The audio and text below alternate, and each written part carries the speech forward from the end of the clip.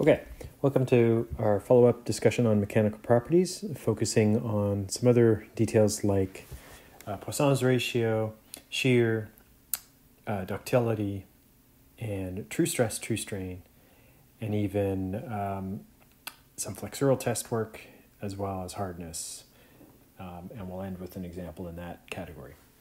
so we saw last time that the uh, force results resulting on a material acting in tension, for example, re- results in strain as characterized by the change in the shape or the length of the material relative to its original length that uh, was measured without any force per cross sectional area or without any load on the specimen.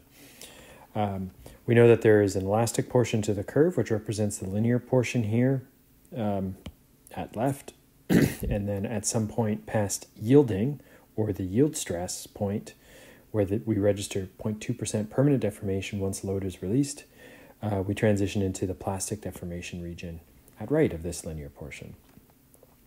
Other features we know and recognize are the um, tensile strength value, which is the highest data point on the curve, a fracture point here um, indicating the moment the specimen has um, broken into two pieces, and of course the slope of the linear portion in the elastic regime at the leftmost data set of that red line that I've tried to draw in there is of course the tensile modulus for the specimen. Um, okay. also note um, that strictly speaking what we've been considering at this point have been engineering stress and engineering strain values where everything is relative to the original um, uh, dimensions of the specimen. And we'll evolve that to talk about true stress and true strain uh, in this video. Okay, so ductility, the ability of a material to undergo plastic deformation, is related to the number of slip planes. Uh, in metals, the number of slip planes is identified, um, and the most likely slip to occur is the slip plane that has the highest atomic planar density. So that would be close packed uh, planes of atoms where we have uh, a hexagonal kind of arrangement of atoms as we see here.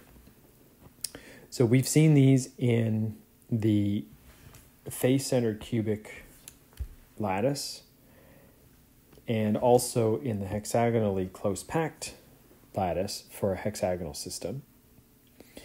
And in an HCP lattice, um, there is only one plane that has this uh, hexagonal close packing, and there are three close pack directions characterized by the sort of sets of black arrows over top of the hexagon here. Um,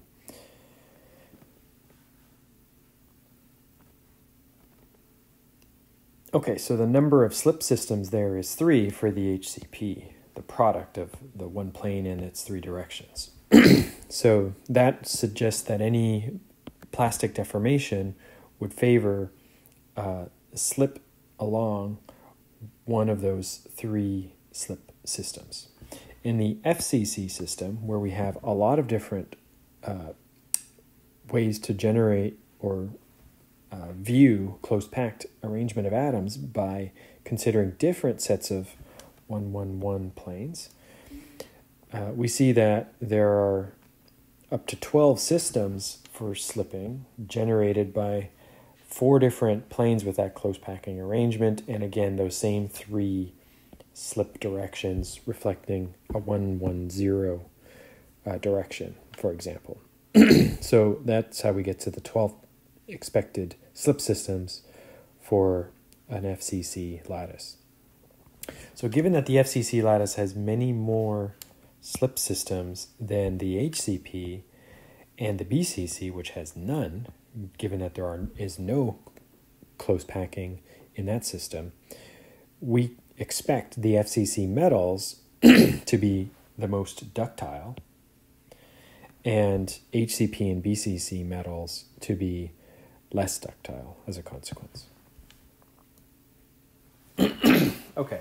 Some other topics that we need to consider under um, tension type work on materials is the idea of a Poisson's ratio. So Poisson's ratio is the ratio of the transverse contraction strain to the longitudinal extension strain. Um, and this is characterized prior to yielding, prior to registering permanent deformation. Okay, so we've seen the longitudinal extension strain before. That's simply our length at the moment of measurement minus the original length divided through by the original length. So in this slide here, we kind of term that linear strain. and we can see how that linear strain here is the epsilon that is of course parallel to the load direction. If we are applying tensional forces on the te test specimen, this strain that is parallel is along the vector of that force. Okay, so in Poisson's ratio, that's going to be our denominator. So under that moment of linear strain, we might expect the material to respond in the orthogonal direction. So if volume is to remain near constant, we'd expect contraction laterally as a consequence of uh, extending material upward along the load direction. And so we read we call this on on this slide here the orthogonal strain, and of course it is a characteristic of the transverse contraction that occurs, and so it's going to be opposite in sign because we are reducing the dimension there. If we allow positive direction to be defined as the the gaining of dimensions along um, the, the, the dimension in question, then loss of that dimension will have to be the opposite sign. so in a lateral strain measurement, it's the width of the specimen under the load condition minus the original width of the specimen divided through by the original specimen. This would be the lateral strain, and we use this as the numerator to calculate Poisson's ratio. We apply a negative sign there because that is a negative outcome there. And so this gives positive values Poisson's ratio. So this is characterizing how much contraction occurs as we experience linear strain that is uh, in the longitudinal extension direction of the specimen. Okay. So Poisson's ratios are characteristic of materials, and uh, depending on how the material is, what the what the nature of the material is, we may be able to simply report a one Poisson ratio for, as an example, an x dimension or a y dimension um, when load is applied in the z dimension.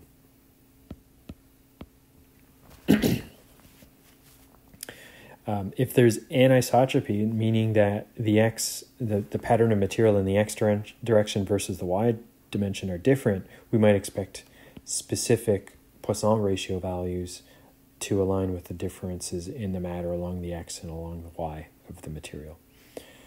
Okay. So, like we suggested in the earlier discussion, uh, these stress strain curves can be generated under different kind of testing modes. And so we could consider shear, where we, as an example, have a cube of material and we ask the top plane of that material to displace parallel to that bottom face. And we're going to sort of shift it with uh, a shear force, Fs.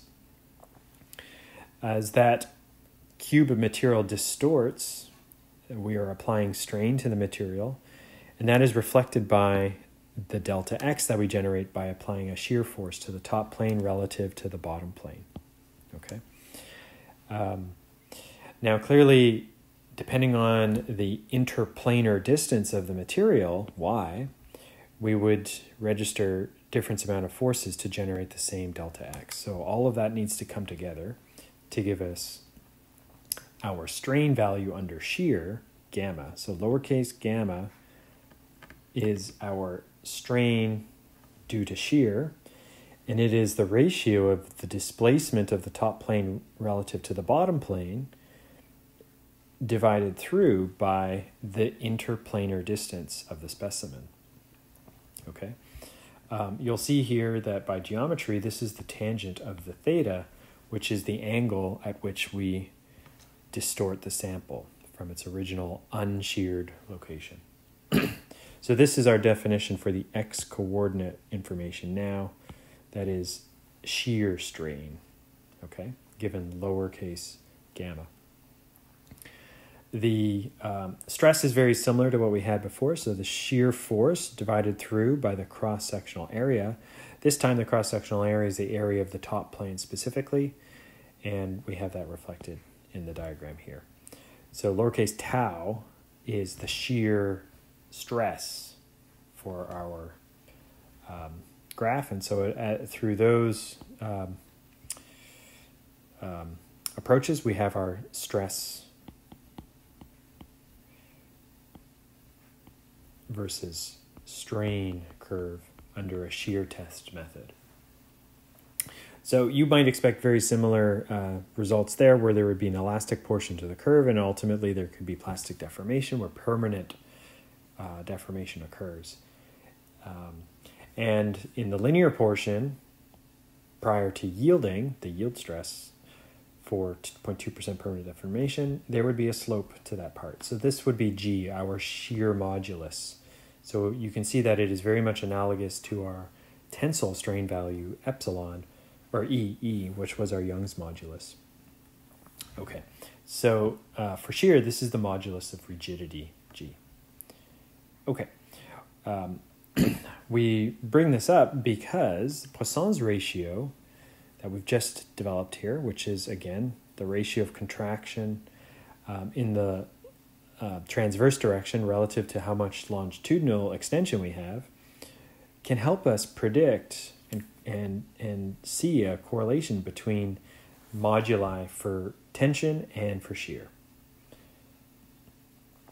Okay, so uh, we see that down here. So for isotropic materials, that is that they are uniform in all three directions in their properties and their arrangement of molecules or atoms the shear and the elastic modulus uh, for tension are related.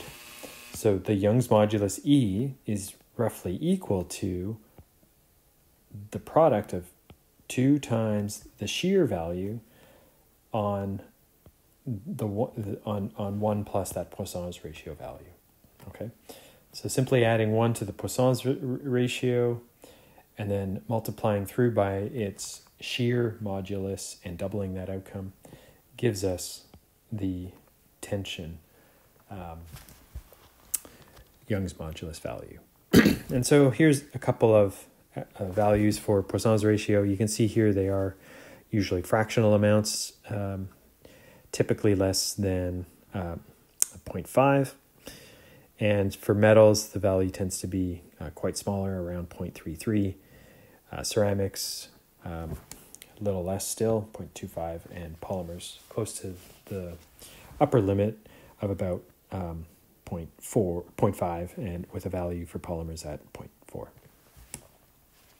Okay, so hopefully you can appreciate here that not only does the Poisson's ratio characterize how much uh, transverse contraction there would be under tension, but how it can be used to predict a shear characteristic like the modulus uh, for rigidity G for a shear loading uh, condition.